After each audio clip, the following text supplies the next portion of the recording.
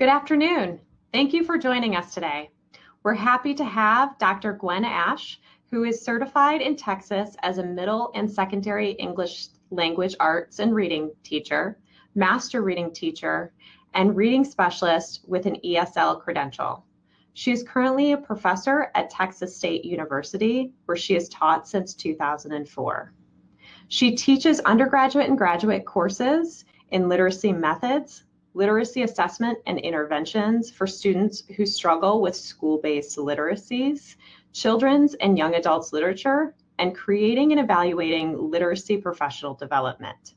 Her research examines teaching literacy in middle and high school, creating frameworks for middle and high school, and critiquing and analyzing children's and young adults literature. Please welcome Dr. Ash. Hello, uh, and welcome to what is my first webinar. So I hope that um, it goes well uh, for all of us. Um, we will be taking questions during the presentation, so feel free to add them to the screen. Um, and we'll go ahead and get started here. So, um, so I'm presenting on critical media literacy. Uh, who can you trust engaging media, critical media literacy in the middle and the high school classrooms as well? And I'll have contact information at the end uh, where you can look at for contacting me. I wanted to start out today talking about um, essentially the story that led me to start looking at ways to support uh, students. Um, I was um, working with some colleagues on uh, a project at a local high school, um, and we had an uh, example happen at the high school of really what the kind of good critical media literacy we'd like to see in students uh, take place. Um, and critical media literacy, to give a little background, is defined uh, by the New London Group as a way to really help kids be a part of society, ways to use literacy um, as a way for them to interact interact with the public, um, to interact with a, a, community voice, and and also uh, how it affects their economic life. So this story started um, right after winter break, and the students came back from winter break. And um, often we all know that there are unannounced um, assemblies that happen at schools a lot, and the students were asked to all go to the um, uh, gym slash cafetorium and uh, they were there for a talk but they really didn't understand what the talk was about. And this is a quote from one of the students who was there um, who follows up on that that you know, everyone in the building was required to be there. There wasn't really any information. We didn't know what we were walking into. And what they were walking into was a presentation by a local um, startup uh, CEO who had begun uh, an app, and he was giving uh, an inspirational talk. Um, his theme was passion, uh, and he talked about his passions, and he talked about the creation of his app, uh, Be Somebody, and how that was his passion, um, and the he was in some ways a little uh, bro-ish in his presentation. He used some language that most of us might not expect to see in a presentation in a high school. Um, and he told students that they should not have plan Bs, they should only go for their plan As um, and really embrace their passions. Now, a lot of times at a high school, what might happen uh, is that the students would listen to the presentation and go right back to um, what they were doing. Uh, but right away, some of the students um, started talking to their teachers about uh, how they thought it was odd that he had come to the school where he was really selling something, the app, um, but he was trying to hide his sales pitch within this uh, inspirational speech. Um, others thought that they had been asked to sit through commercial at school and had trouble with that. Some students questioned why he was able to use language that they would not have been able to use or they would have been in trouble uh, for using. Um, and, you know, that might have ended at that a little grumbling to the teachers and, and then they moved on. But at this particular school, there uh, is a lot of uh, emphasis on media. There's a, a, video media class and there is a written media class.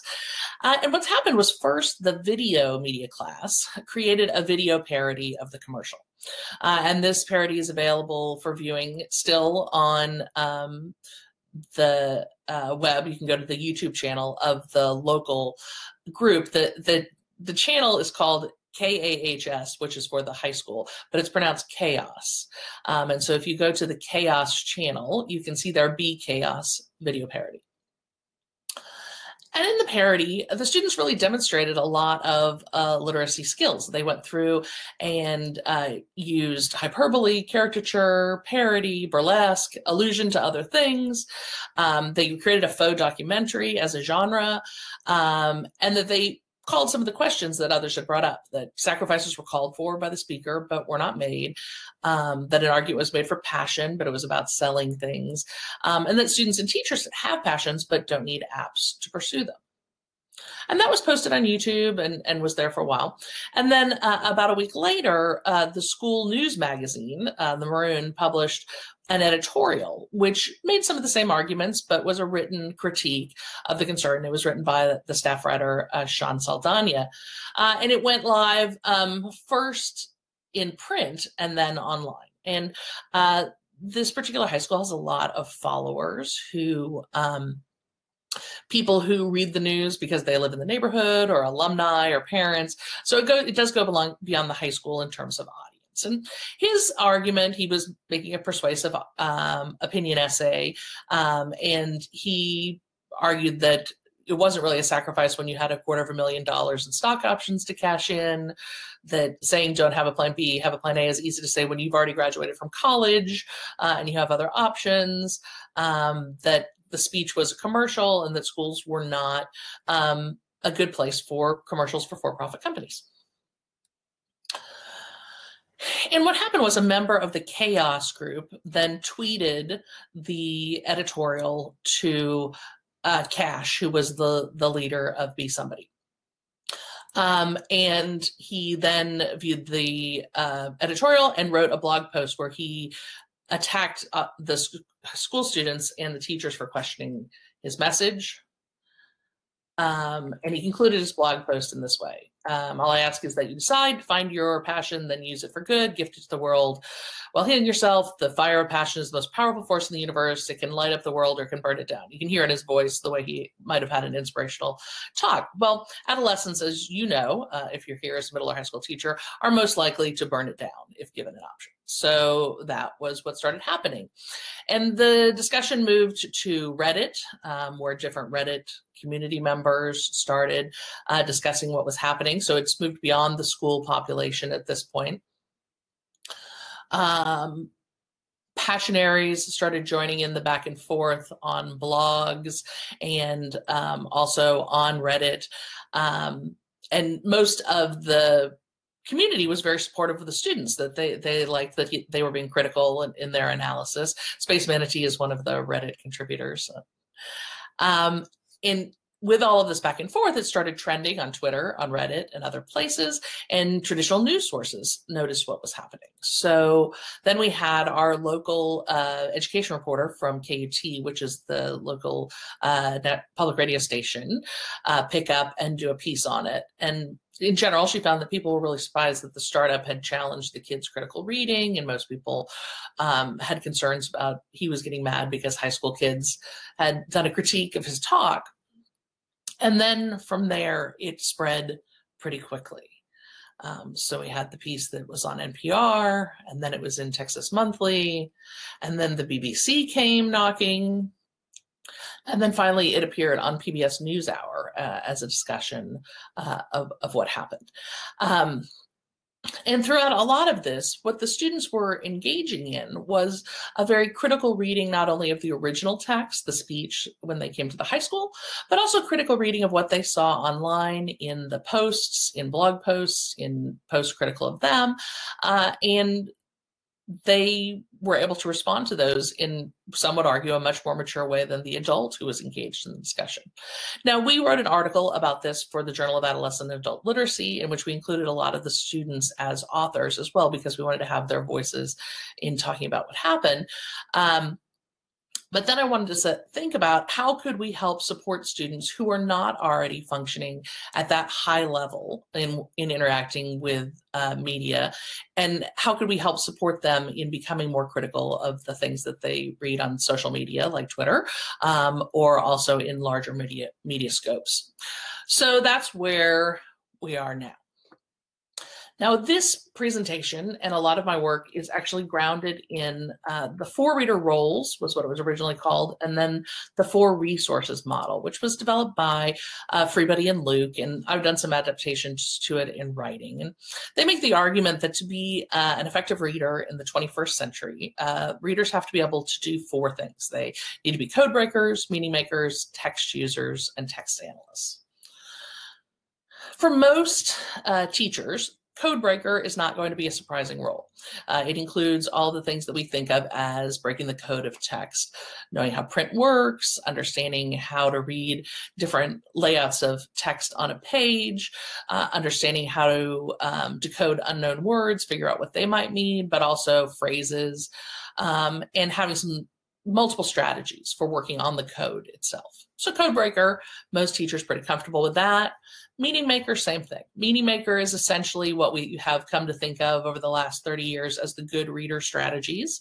Um, so all the things that readers do while interacting with text, using background knowledge, drawing inferences, making predictions, acting, asking questions. But the last two roles might be less familiar to us, even though we probably engage in them all the time as adults. Text users are um, how we decide the purpose of a text and how we would use a text, whether it's a text we are uh, consuming or a text we're creating. So, really thinking about purposes for reading, uh, different methods of expression. For example, when would a video be a certain kind of response? Would when would a written essay be a certain kind of response? How would people interpret those different media differently? Um, and also thinking about how our responses and expression might differ depending on the situation uh, in which we're in. So text user, a little newer. And then text analyst teachers, I think, are pretty familiar with in one particular way. There's those standardized test questions, which always seem to be problematic for students uh, that ask a question along the lines of, with which of these statements would the author most likely agree? Uh, where they're asking the students to uh, drill down into author point of view or perspective. And certainly that author's point of view or perspective is a big part of text analysis. And it's also looking at author's purpose. Why was the text created? Um, point of point of view that is absent. So if the author is presenting this particular point of view, what point of view is not being addressed or discussed, uh, thinking about any sort of expectations that the author has that are presumed uh, to be um, held on the part of the audience or not. Um, and then as a reader, um, acknowledging the message that is being conveyed to you, deciding whether or not you agree with that message, and taking away your own personal beliefs and reflections on the text after you've interacted with it. So text user and text analyst are a little different than a lot of what we've thought of as traditional literacy. Um, but they become particularly important in looking at critical media literacy. Uh, and with critical media literacy, we're often looking at texts that uh, we don't think of as necessarily school-based texts. Um, it's not an approach where they have a notebook where you can buy, you know, here are the best readings in American literature. You know, so here are the best social media uh, texts that you can use to teach about this. It often requires gathering texts. Um, uh, from reality, um, bringing them in, having students bring text in. People argue that critical media literacy is much more democratic because sometimes teachers uh, take the back seat because students may be more knowledgeable about particular areas. Uh, as an example of this, we'll talk later about different social media use. Younger teachers out there, you might be using Snapchat, but many teachers my age um, are probably not using Snapchat or Instagram as much as younger people are. Um, and so there will be different levels of knowledge and thinking about that. And that all of social media literacy is looking at um, how we can challenge a hegemony, a the idea of power, um, and thinking about how power differentials uh, are shaped in these different interactions. So as teachers, we often end up making uh, a lot of materials ourselves because it's not a set curriculum. Uh, and I'm going to, hopefully if I do this right, switch over so you can see my computer. And I'm going to go to um, a piece that I um, developed. So when we think about fake news, sometimes uh, we we don't think about the different kinds of materials that are available. And um, I, by the way, have made this PDF available to Lindsay, so it, it's just uh, it's larger. It prints out tabloid size um, at its smallest, and I use it to create classroom size pictures. Um, and it's a PDF, so you can have it to, to use as you would like to use. Um, but it's looking at intent to deceive as um, a function of different kinds of texts. Sorry. Um, so there are texts, for example, that are purposefully misleading. Um, so things that are bogus to start with, they're completely fake. But then we also have propaganda, which is fake, but has created to communicate a particular message. So it is often persuasive in its nature. Then you have partisan texts. Um, and although partisan is often used in political discussions in the US, partisan simply means sided, right? So that there is one side or another. And so when materials presented by the Sugar Council, um, the material might be seen as skewed or biased in their perspective versus something being uh, presented by the uh, diabetes group in the same way. And then there is uh, clickbait, which we're probably all really familiar with. And clickbait is when uh, a text often might have a misrepresentative headline. Um, so where the content in the story itself may not be misrepresentative, the you might be drawn to click on it by a, a headline which is at least somewhat spurious or at least uh, uses hyperbole. So those are the things that are definitely fake. But then we also have um, texts that can be misleading if you don't understand the context. Um, and you may have seen this even with peers um, on uh, Facebook or other social media, for example, where they might share something from a satire site like The Onion, as an example. Um, thinking that it is realistic news because they don't understand that the onion is um, a, a satire site. Going with this is also sponsored content. Uh, we used to see a lot more sponsored content uh, primarily in print. You see it a lot in magazines where there might be an entire story in a beauty magazine that is sponsored by the makeup that is discussed in the article. Or I see it a lot in in-flight magazines on airplanes uh, where a city might have a sponsored section. Uh, and it's all about the great things to do in Charlotte, North Carolina, but it was paid for by the Chamber of Commerce of the city of Charlotte. So sponsors content um, there it's really a long infomercial and you have to think about that context when you're evaluating the information that's being shared in it. Now, there's also misleading information, and this is probably sometimes the most difficult for people to ferret out, where the text is misleading, uh, but it's been created by people who we might argue are misled themselves. So, they are not creating the information purposely to mislead people. They are, as you might say, a true believer in the sense. Um, so here you get uh, things that would fall under conspiracy theories, um, also pseudoscience uh, would come under here. And then just plain misinformation when someone um, has information or has found information that is incorrect and they are sharing that information and they're unaware that it is misinformation or incorrect. And then finally, we have the situation, and I, I think it's important to talk to students about this, where um, a, a, news source may provide information that's completely wrong. Uh, and in the case that if the, it, they do do this, then there should be, um, if they are a reliable source, there should be an immediate um, identification of errors, uh, full publication of errors, um, and discussion apologies. so I'm back.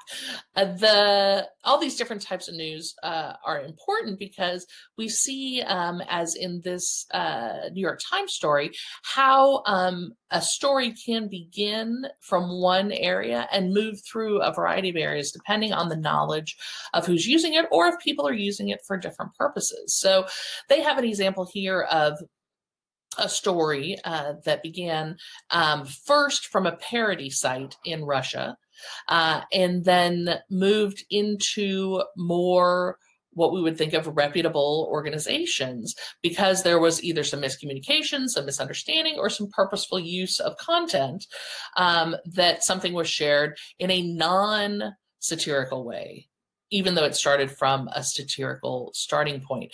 Uh, and so kids need to be aware of how things can shift and morph as they move move through these different types of news.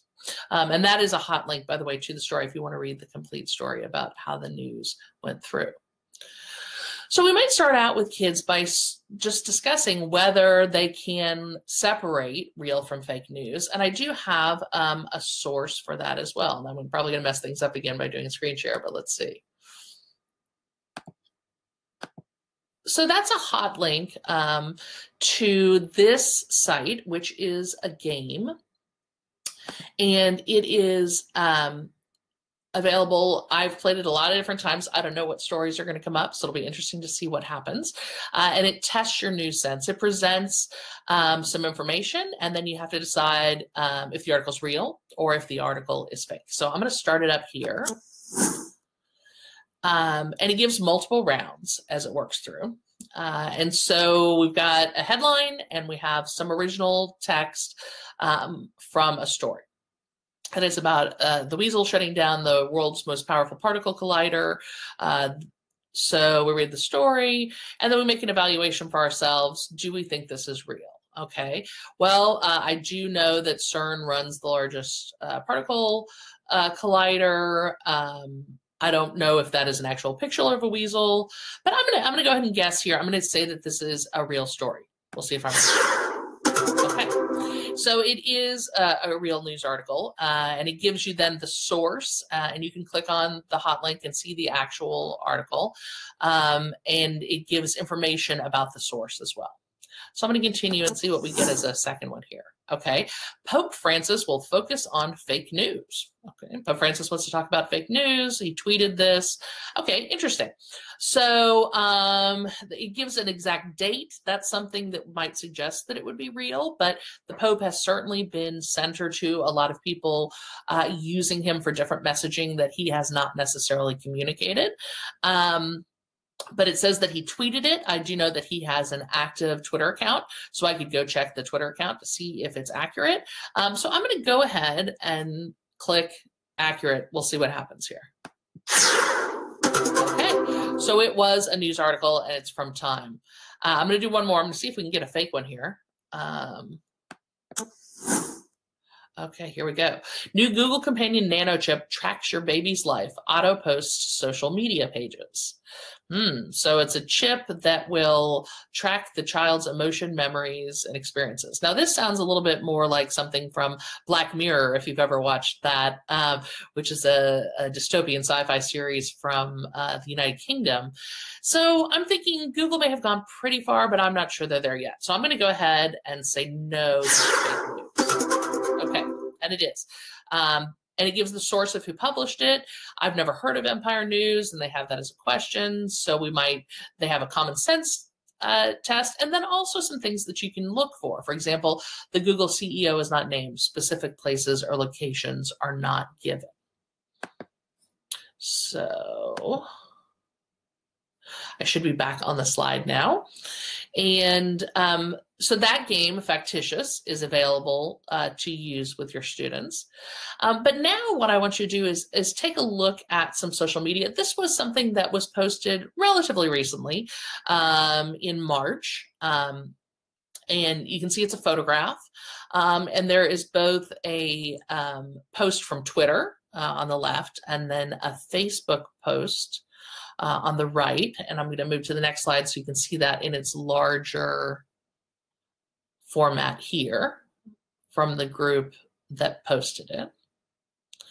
Uh, and normally, if we were in uh, a face-to-face situation, I would have you turn to your neighbor uh, and th think about some of these following questions.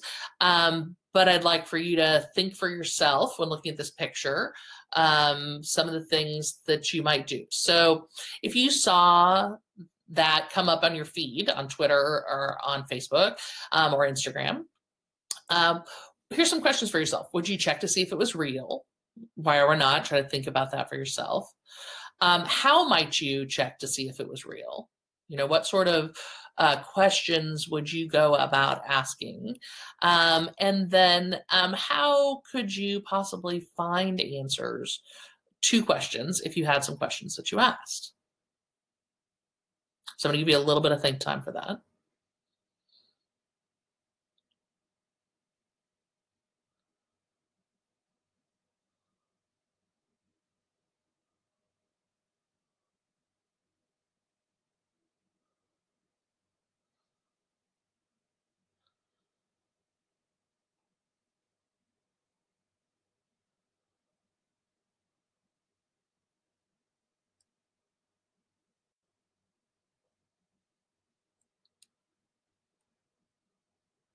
Case you want to look back at the pictures while you're thinking here.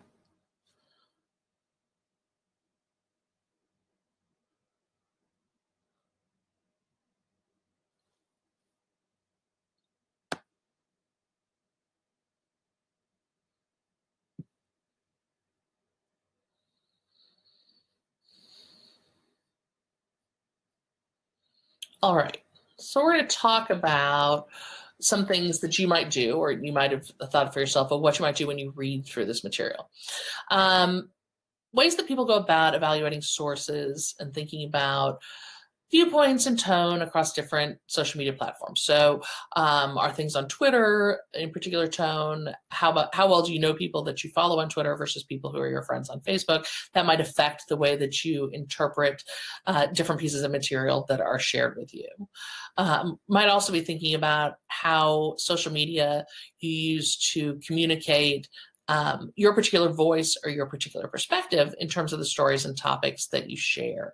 Um, in Texas, here we had an example uh, a couple days ago when our uh, Secretary of Agriculture um, shared a piece that turned out to not be uh, it was fake news but both he and his social media coordinator said that you know they they're not responsible for deciding if uh, the things they share are fake or not. It's really up to the audience who reads them because they're sharing them to communicate a point of view. And he is not alone in sharing that perspective. Um, there, there have been a lot of studies that have looked at how what people share on uh, social media. It's more important to them that it aligns with their perspective or ideas than if they're sure that it is accurate or true.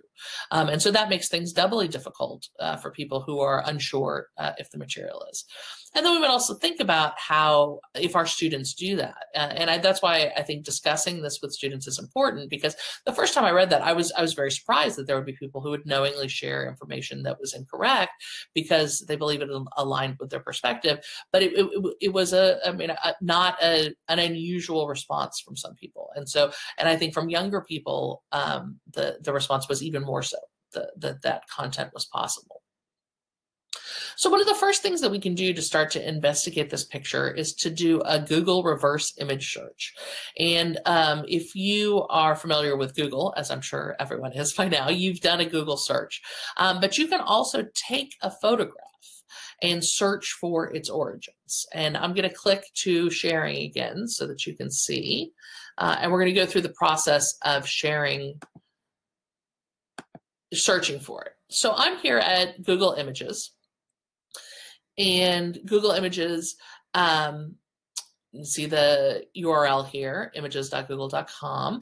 And you can see I've got some prompts here. I can um, search by voice for particular images, or I can search by image. And if I want to search by image, I have a choice between either putting in a URL. So if I find an image on a page, I can put that page's uh, URL in there and search by that, or I can upload an image. So what I did was I downloaded the photograph um, here we go, um, from the Twitter page. And I have mystery picture here. So I'm going to upload that and it's taking the file and it gives me some information about the image and it demonstrates where it has been and it's like oh interesting. So many of you may have recognized early on that that was a picture of britney spears not a picture of emma gonzalez. Some people are too young to remember the time when britney spears shaved her head and went a little um, off the rails um, but for those of us who are older we remember wow yeah that happened quite a while ago. Um, and so then we have um, a story here even about how old people fell for a Britney Spears meme. Well, was it necessarily old people? Maybe young people thought. Here's another story, thought the picture was uh, Emma Gonzalez. Here's a fact check that comes up regarding it. Here's an actual sharing of it on Reddit. Um, and then there's a Snopes story, etc.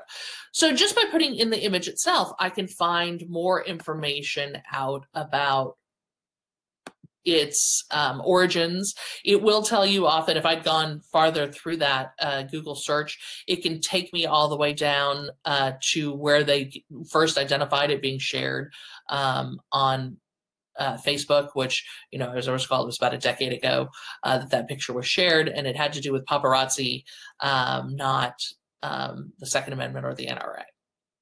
So an image search is one thing that we can do. And because a lot of media that students consume, um, and this is particularly true of younger people. Uh, younger people tend to use more visually driven social media. So when we think about Snapchat and Instagram, uh, they are more driven by images. So being able to search an image can be very effective for being able to evaluate the veracity of something that they've done. So we can do a Google reverse image search. Um, we can follow the link on the page. So if I followed the link on the actual page that was sharing it on Facebook, it takes you to a page. And let me switch you over so you can see it. Um, that discusses um, the story. But you notice here it tells us something about the site that we're sharing it. Right here, they call themselves Snooze, now news that is satirical, satirical news. And so simply by clicking through on who shared the image, we had some additional information on the veracity of the image. Uh, and then we can also use fact checking sites. And two of the uh, most common uh, used uh, fact checking sites for, for hoaxes in particular are Snopes uh, and Hoax Alert. Uh, we also have uh, PolitiFact that might be check, checking more text-based information. So you can see those both here um, as sources that could be used uh, for evaluating that. So what I'd like to do for um, a little bit of time here is to go through and have you do a search for a particular headline uh, from the internet and think about um, how you might do it. I want you to look through some of these headlines are accurate and some are less than accurate. Um, and will eval- uh, allow you a chance to do some research. Here we go. Um, so you should be able to see this now. Uh, and this is something that I took and I modified from a couple of different activities from the Newseum, which is a great resource, by the way. The Newseum is located in Washington, D.C., and it's actually uh, a history of journalism museum, but they have online uh, materials available um, in a lot of ways in, related to a variety of different journalism activities, but some related to um, fake news. Uh, and then also the European group um, that has looked at media literacy. And I've combined some of the things that they've done with some other uh, headline that, that I found. And what I'd like for you to do if you choose a particular um, headline is to take the headline and in your Google search enter both the headline and the particular source that I gave you. Um, because the, the source is a part of the evaluation. So we have here why Canadian's town water supply turned pink.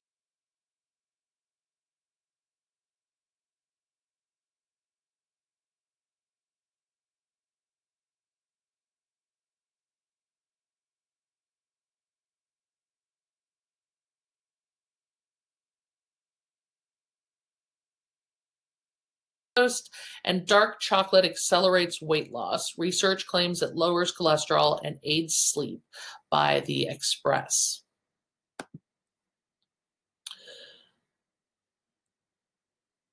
So if you can take a look at those, um, I'm going to give you a little bit of time to think about uh, what you could do. Select one of the headlines and then find out what you can about that particular headline and we're going to come back and, and discuss them for a little bit. So I'm going to give you a few minutes here. If you've got any questions, don't forget that you can ask them in the question queue um, and I can respond to them uh, live here.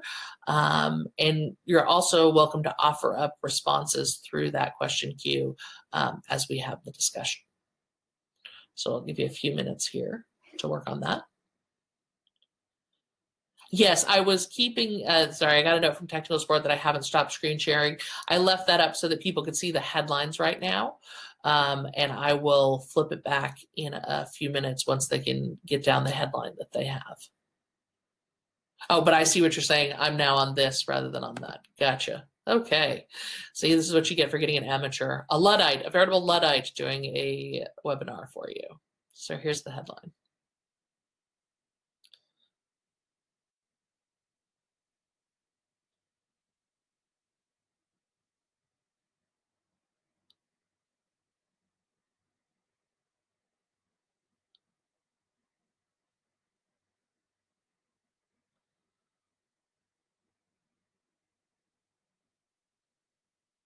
So you're never sure about what to do about wait time when people are not physically here with you. And uh, I don't have a way to see your response. I'm going to click back quick just to see if I have any questions.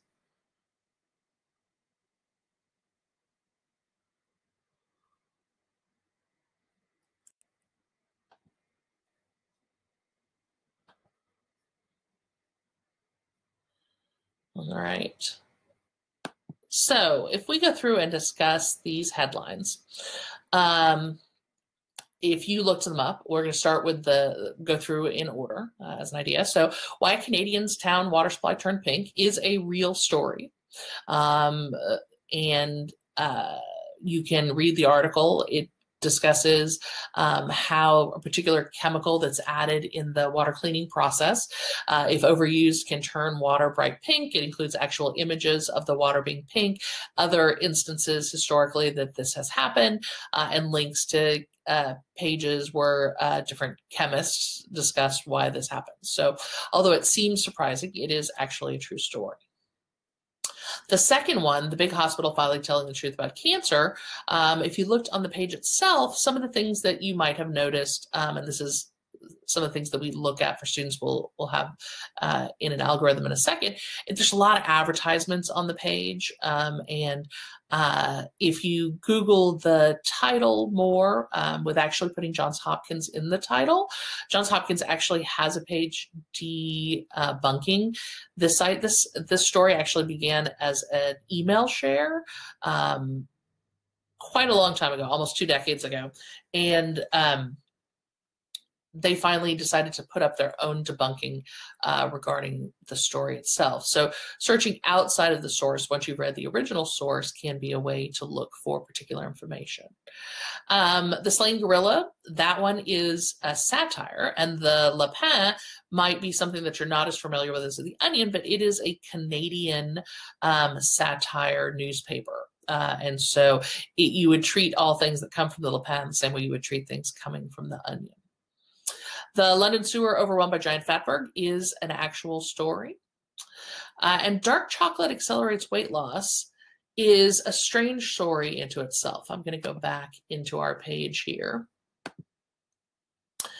And uh, the story is um, that actually um, that was published from a published research article on weight loss and dark chocolate. But if you follow back the story, and you'll see it in a Google search if that was what you looked at, the person who did the original study created it as a way to evaluate the scientific reporting uh, of scientific reporters. Um, and so he created what was essentially um, a study that was meant to show information that wasn't useful. Uh, so it did show in a very small um, statistical way that chocolate could aid in weight loss. Um, but the difference between the two groups was maybe an ounce or two over a long period of time. Uh, and he shared, he had it published in an actual peer reviewed journal and then saw it go out. And you might have even seen this as it appeared in a lot of different um, publications. I had to use that express link directly because a lot of other publications had put up um, uh, errata so noting um, once the material came out that that this was based on material that was not uh, shared accurately, and they, give the story of the hoax. Um, and so it is one that actually the people writing the newspaper and magazine articles we're were duped uh, and used material that was less than helpful. And that's that's the hardest kind to try to identify because until the newspapers and magazines start to acknowledge that their the material that they used was not accurate then it's difficult as as a reader uh, to do that evaluation. So um, that gave us a bit of an example of things that we, we can evaluate. And so some of the things that we looked at included the media source itself, evaluating the reliability of the media source, which is one of the focuses of the factitious game, how, how that works through. Um, any experience that you personally had with the event? Uh, so even going back to the um, story about Emma Gonzalez and the umbrella, who was really Britney Spears, um, you may have had personal experience with that that helped you evaluate the event. Also looking at the point of view or the perspective, does it seem like the, the story is pushing a particular point of view or perspective? All texts are biased, and I teach students that that what they need to be able to do is identify the bias, um, and if, identify if the bias is skewing the information being shared, um, and and that is up to a critical reader to identify and evaluate. Also thinking about resources, whether that's Google image search or Snopes or PolitiFact that can be used to evaluate headlines. Um, and using activities like this to help prepare students to read the world. I shared before uh, a different uh, infographic, and this is an infographic here, sorry, that um, was developed in coordination with students um, that is also oh, sorry, switch me back, is also um, effective for using as a poster size um, material in your classroom. Uh, but it had a way for them to evaluate what they did when they went through looking at text. And we did this on, you know, a basic infographic creation uh, site, which are available free for uh, uh, educators to use. I have a free educator account on this. Um, and it, they go through the steps. So evaluate who wrote and published the news is one thing that they need to do. Who is the author? Why should we trust them? Who's the publisher? What are the publisher's goals or objectives? Uh, check the URL. Is it a legitimate domain? Because a lot of places will use uh, domains that are slightly um, off from a domain that would be a trusted domain then having the students evaluate the product itself. Um, for example, is the headline in all caps? Is the story in all caps? Um, does it have too much punctuation, like lots of exclamation points or question marks? Um, errors in grammar and spelling can be something that would also lead to questions about um, how trustworthy a piece might be. The use of hyperbolic language. You know, we teach about hyperbole um, as a piece of as parts of figurative language, but is it very hyperbolic? Ads can also be a clue. Looking for tons of ads and then surrounding the news, that means that they're probably trying to draw um, traffic to a site where ad revenue is being generated.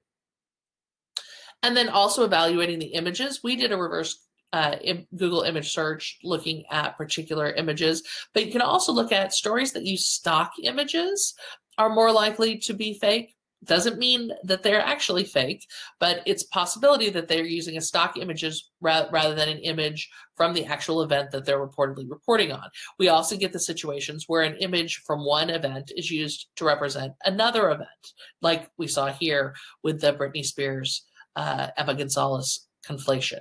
You can also check on images being doctored. The, a Google reverse image search will show you an original photo um, that might be related to the doctored photo that you've seen. So in the recent case with um, the Secretary of Agriculture, it was a doctored image that was shared. And so the the image um, it would show the original image and then the doctored image uh, working through.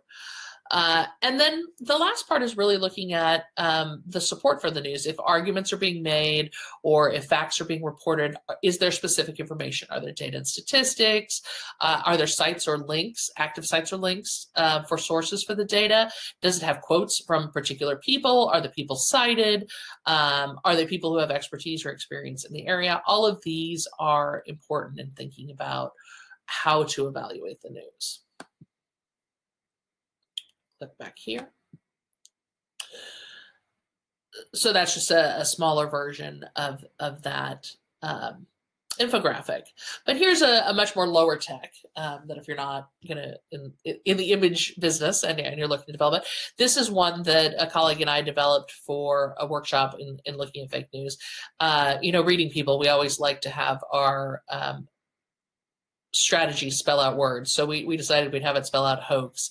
Um, but it has the same kinds of steps, the same sorts of evaluation uh, work that, that takes them through, that they should harbor skepticism, and then there are questions that guide them on what um, that means, that they should opt for validation, um, they should authenticate the author, and then they should examine the resources that are available to them.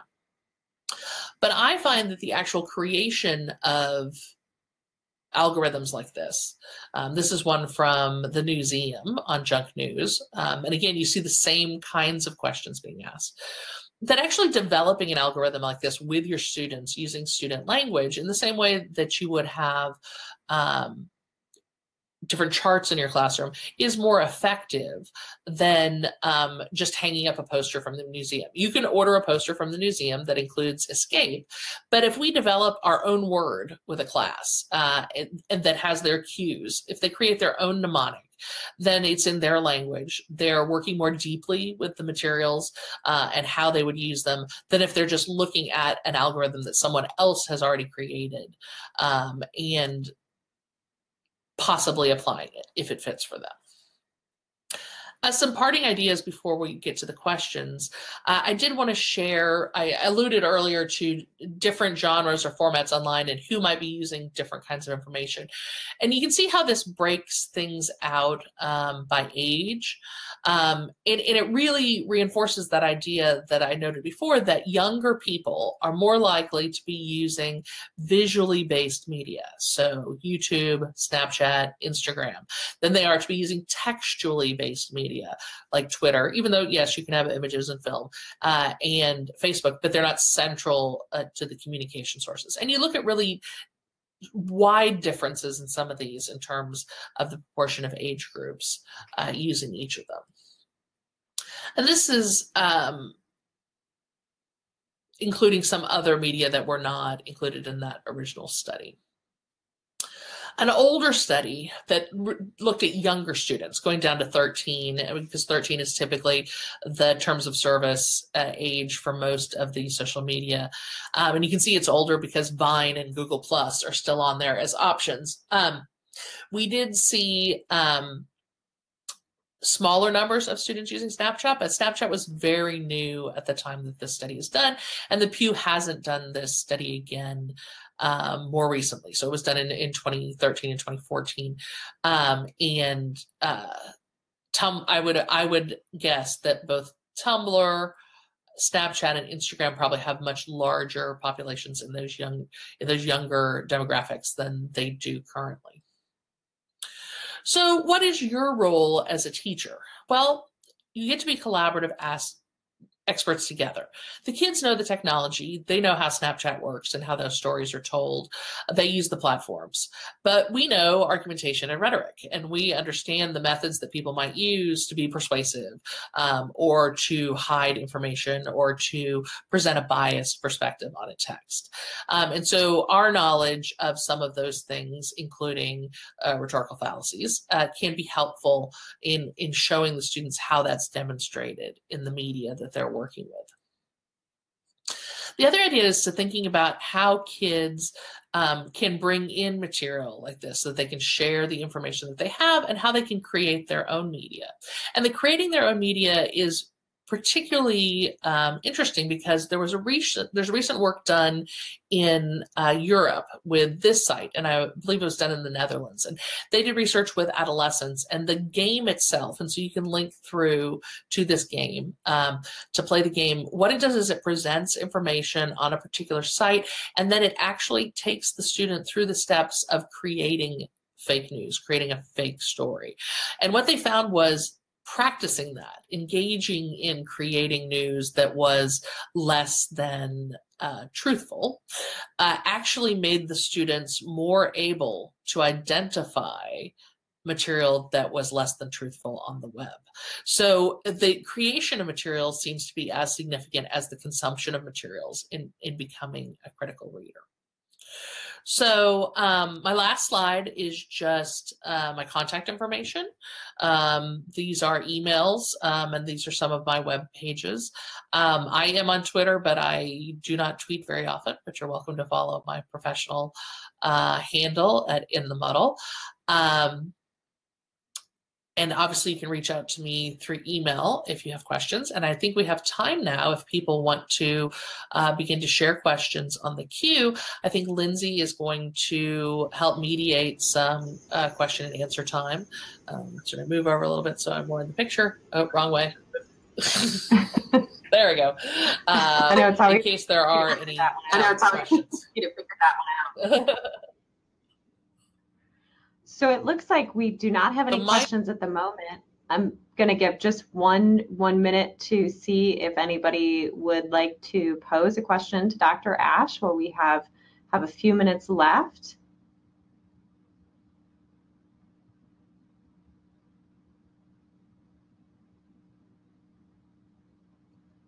All right. Well, I think we can say goodbye and thank you so much for joining us today and uh, sharing all this great information. As Dr. Ash mentioned during her presentation, there will be slides available um, and we will have the recorded webinar uh, so people can review at their leisure.